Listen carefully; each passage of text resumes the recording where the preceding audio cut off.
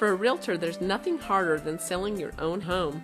Fortunately for me, I live in a great home in a wonderful area. This is 133 Foxglove in Pittsboro. It has four bedrooms, three and a half baths, and over 4,000 square feet of living space on three and a half acres of wooded land. The breakfast room is bright and sunny with an open design that's connected to the gourmet kitchen. There's a formal dining room off the entry hall and a spacious office on the first floor. The family room is 20 by 18 with a fireplace and vaulted ceiling, custom woodwork, and tons of built in storage. You'll have plenty of room to live with a master bedroom, two kids' rooms, a guest room, plus a large bonus room. There's also a second bonus room that we use as a playroom. The house has a three car garage, including this space for an ATV, boat, or workshop. The front porch is 52 feet long, big enough for a band. The screened in back porch is a full 30 feet.